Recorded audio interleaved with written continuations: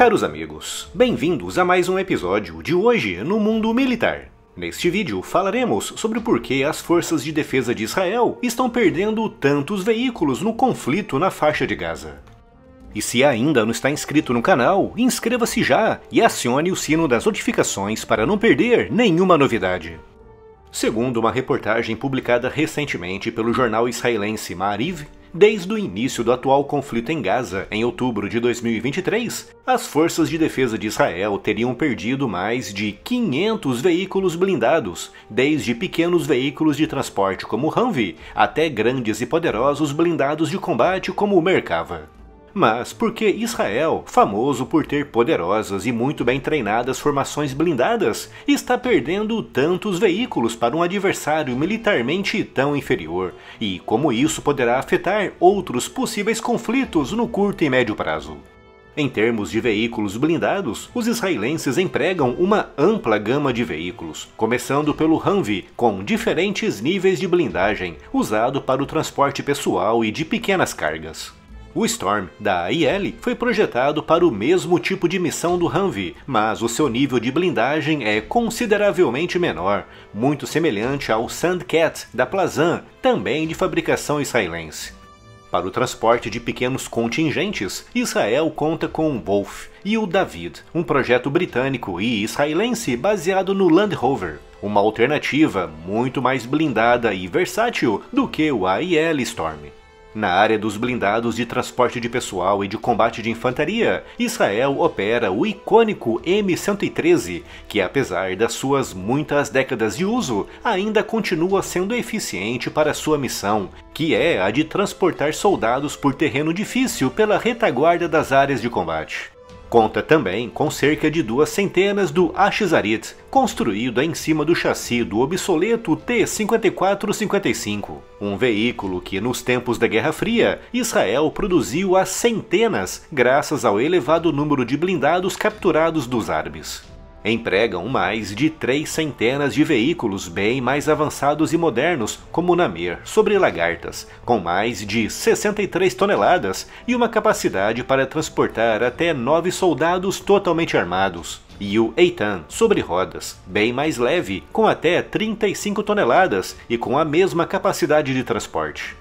E, finalmente, na área dos blindados de combate, Israel opera centenas de veículos Merkava, alguns ainda da versão Mark III, mas principalmente a versão Mark IV e Mark IV-M. Alguns desses veículos, como o Namir, o Eitan e as versões mais modernas do Merkava, vêm equipados com defesas ativas, como é o caso do Iron Fist, feito para interceptar mísseis e granadas antes de atingirem a blindagem do veículo. Para essa missão, o Iron Fist conta com diversos radares espalhados à volta da fuselagem, constantemente observando tudo em um ângulo de 360 graus. Quando um míssil ou granada antitanque é detectado se aproximando, pequenos projéteis são disparados, provocando a explosão da ameaça ainda no ar. Mas como é que veículos assim tão avançados, operados por militares tão experientes e bem treinados, estão sendo perdidos em quantidades tão elevadas? O principal culpado por isso é o terreno.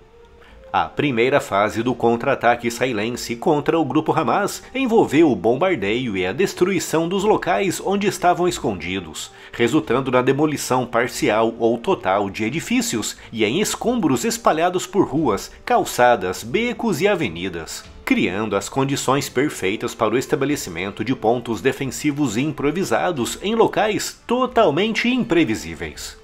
Basicamente, o Hamas passou a ser capaz de atirar contra as colunas blindadas israelenses praticamente a queima-roupa, a partir de edifícios semi-destruídos e de escombros espalhados pelas ruas e praças, sem nos esquecermos também dos túneis. Quem acompanha as notícias de Gaza sabe que o Hamas construiu centenas de quilômetros de túneis, com os acessos escondidos desses túneis atuando como pontos de ataque surpresa. Como esses ataques costumam ser realizados por meio de disparos de granadas RPG, os veículos equipados com Iron Fist costumam se sair bem. Mas outros veículos, como o Humvee e o M113, são alvos fáceis e indefesos, com o impacto direto de uma granada antitanque podendo danificar ou até mesmo destruir totalmente o veículo, ferindo ou matando os seus ocupantes. Mas mesmo os veículos equipados com Iron Fist não estão totalmente protegidos, com Hamas espalhando minas e explosivos antitanque improvisados pelas ruas de Gaza, causando explosões que podem danificar gravemente os veículos, desativando as defesas ativas e permitindo o ataque com granadas e mísseis antitanque. Todos esses elementos, em conjunto, estão resultando em elevadas perdas de veículos israelenses em Gaza, comprovando, mais uma vez, o quão difícil é coordenar ataques de veículos e blindados em áreas urbanas densas. Não há, obviamente, nenhuma confirmação oficial dessas baixas por parte do governo israelense, mas se os números avançados pelo jornal israelense forem verdadeiros, todas essas baixas podem ter afetado a capacidade operacional do exército israelense. É impossível saber exatamente o quanto afetou, mas é inegável que a perda de 500 veículos blindados é capaz de afetar qualquer força armada no mundo com isso podendo ter um grande impacto em ações militares futuras, com destaque para a esperada campanha no sul do Líbano contra o Hezbollah.